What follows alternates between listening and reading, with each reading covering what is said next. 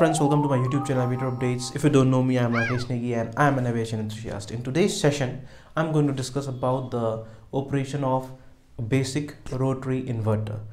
Okay, before we start, let me tell you one thing friends. The use of rotary inverter is superseded by the use of these solid state inverters or static inverters right but the rotary inverters are still used in some small types of aircraft so let's start the topic okay so the topic is rotary inverter operation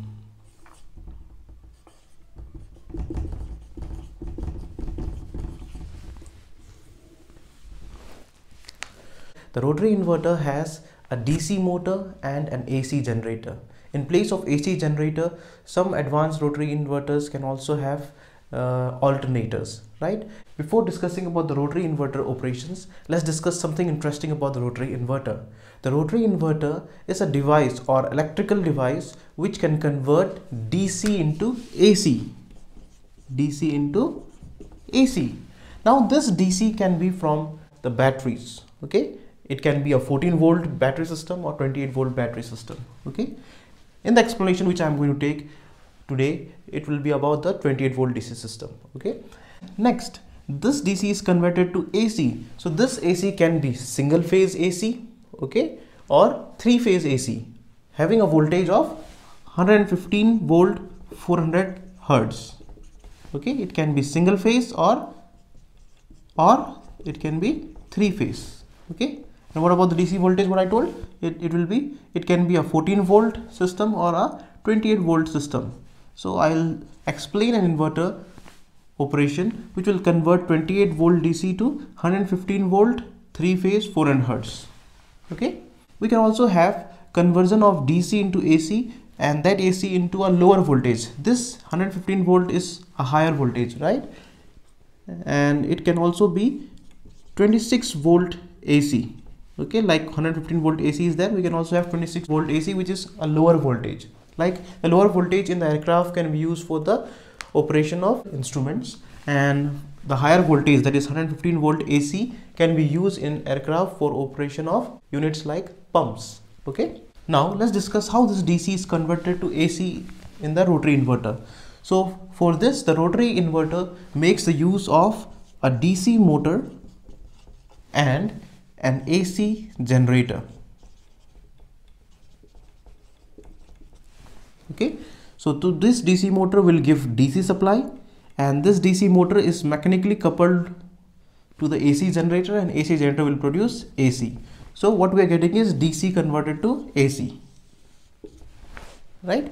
So let me explain this using a schematic circuit diagram. Okay, suppose this is the DC supply 28 volt DC coming from the batteries okay or any other system so this supply is coming. So there will be a switch okay which will be connected here suppose this one. So this supply is connected to suppose I have pressed the switch it is connected is going down like this and it is given to a DC motor.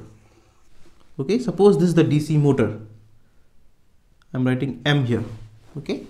So and the supply is going to the armature of the DC motor and of course there will be the field winding of the motor. Suppose this is the field winding of the motor this one. Okay. So this supply which is coming it is going to the field winding also and to the armature also that is of the motor. So that means the motor is getting the supply and both of them they will be getting the grounding path from here like this. Okay. So the field winding is getting grounding path from here armature is getting grounding path from here. So both of them they are getting the grounding path from here. So this is a DC motor okay? So as of now what I have shown you supply coming from here and given to the DC motor okay? Now just rotation of this DC motor is not sufficient right? We have to achieve our target that is conversion of DC to AC so for that what we need to have is this motor is coupled mechanically with I am showing a dotted line to show you the mechanical shaft is coupled mechanically with AC generator okay? So the AC generator is connected like this. Suppose this is the field winding of the AC generator.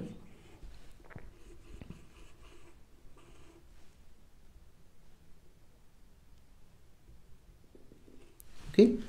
So this field winding is wound on the shaft or we can say rotor. So the field winding is on the rotor. Okay? So this is the field winding.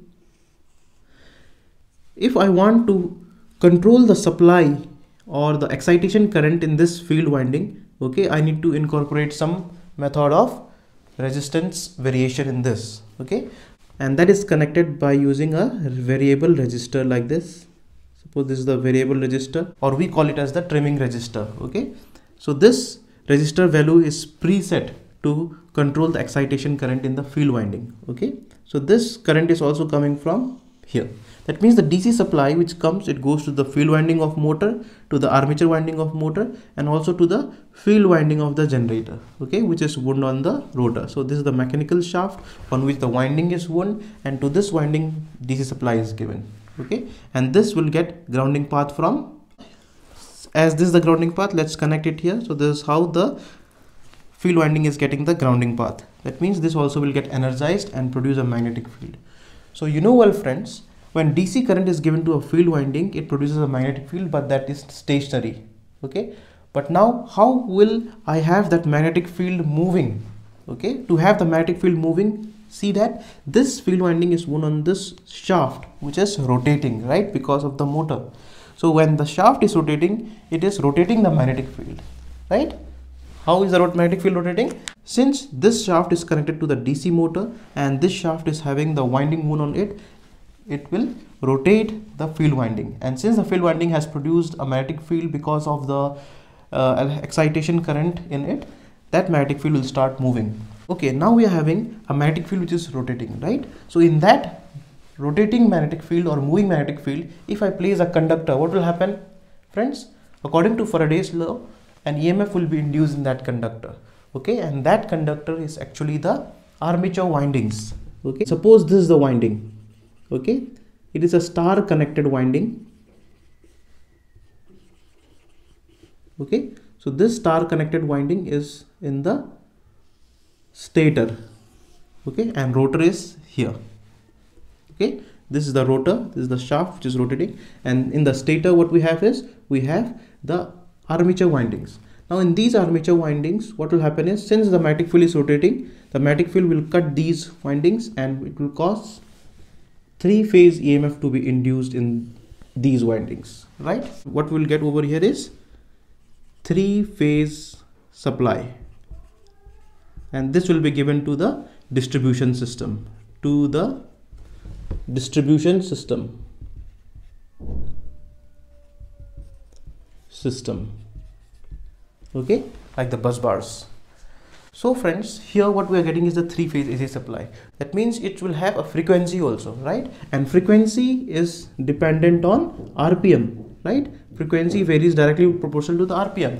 That means in order to have a constant frequency, the speed also should be constant, okay? So to get the constant speed, okay, what we can do is we can vary the excitation current in the field winding in such a way that we can preset the resistance in its field winding according to the RPM requirement okay or according to the speed requirement of the DC motor. So we can preset a resistance value over here. So I'll just erase this and I will induce a trimming resistor here. Okay so this is the trimming resistor. So this trimming resistor value can be preset to maintain the excitation current to such a value that we get a certain speed of the motor which corresponds to the 400 hertz frequency. Okay? I repeat again the resistance value of this resistor can be preset to a certain value such that a certain value of excitation current will be there in the field winding of this motor. And this will cause the motor to run at a certain rpm which will be corresponding to 400 hertz frequency. So this is how the 400 hertz frequency is achieved by varying the input voltage to the motor okay? So if you are asked how do we maintain 400 hertz frequency in the rotary inverter system? The answer is by regulating the input voltage in the dc motor which causes the motor to run at a constant rpm which would correspond to 400 hertz frequency okay? So friends this much part is the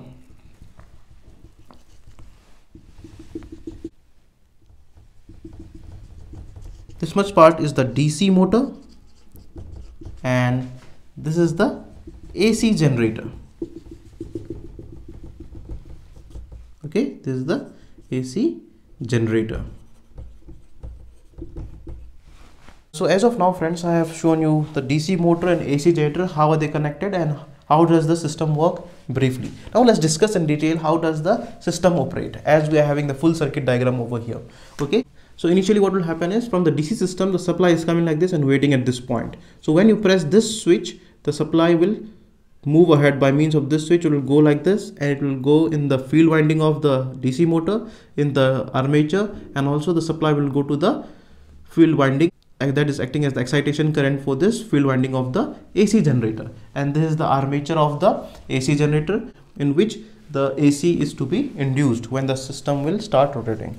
Now as the supply is given to the motor the obviously the motor will start rotating? Yes. So when the motor starts rotating can you see this shaft?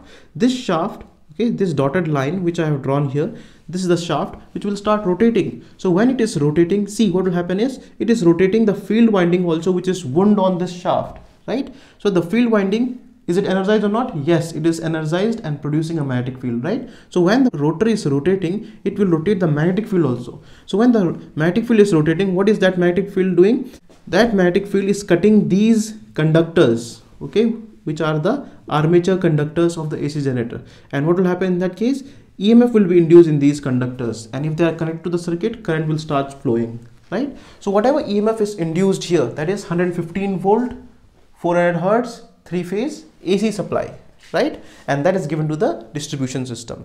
Now the question is though we are getting the voltage how is the frequency maintained? How do we get 400 hertz frequency? To get this 400 hertz frequency remember that friends frequency depends on the value of n that is the speed at which the system is rotating okay? At which this dc motor is rotating. So this speed can be controlled by putting a trimming resistor here. So this trim resistance can be preset to a certain value such that the excitation current in the dc motor will be maintained to a value which will cause the motor to rotate at a certain speed and that would correspond to 400 hertz frequency. Okay? So that is how the 400 hertz frequency is attained by regulating the input voltage to the DC motor. And if you want to control the output voltage of the AC generator what is there? We have this trim resistance which is incorporated in the field circuit of the AC generator this one. So this resistance is also preset to a value to maintain the excitation current in the AC generator field circuit. Okay friends? So this is about the operation of the rotary inverter. So finally what we get? We get from dc supply we are getting the ac supply right? And that is the purpose of the inverter. Okay friends? So friends i hope you are clear with the operation of this type of rotary inverter in which the resistors were used for regulating the speeds and the output of the ac generator. There is yet another type of uh, rotary inverter in which instead in place of the AC generator we are having the alternator. And the regulation is not done in that type of rotary inverter by resistors but by the use of carbon pile voltage regulator. For that I'll make a separate video and share with you. Also friends you can also install a switch over here okay and name it as inverter switch. Inverter switch okay in this session, I hope you have enjoyed learning the operation of rotary inverter and what are the main parts in the rotary inverter. I'll come up again with a new topic in my next session. Till then, enjoy learning the topic and thank you.